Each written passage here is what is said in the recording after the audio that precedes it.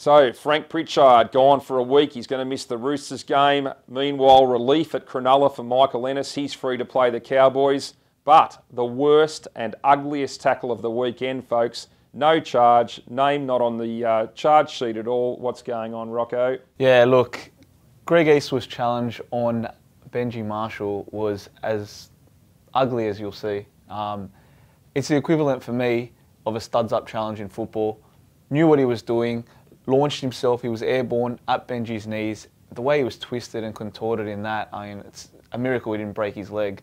How that slipped through the cracks with the match review committee is beyond me. Well, I think with the match review committee, there's something wrong here in the fact that this tackle is actually not illegal. We're talking about the fact we're going to have to look at bringing in fines and reprimands to deal with something like George Burgess. That tackle of Greg Eastwood, that style of tackle, if that's okay to wrap your leg around another bloke and potentially break his leg, I'm sorry, guys, you better have a look at that as well. That was absolutely disgraceful. Uh, cost Marshall the rest of the game, pretty much took the Dragons out of the match, I guess, losing him. And that's all okay, apparently. Yeah. I mean, essentially, it did cost them the game because I think if Benji's there, they go on to win it. But uh, it could have cost him his career. Like, and it's a miracle Absolutely. it didn't. No, look, it's got to be looked at. It's a disgraceful tackle. Pritchard a week, that's a huge loss for them as well going into the game against the Roosters where they're going to want to dominate in the forwards.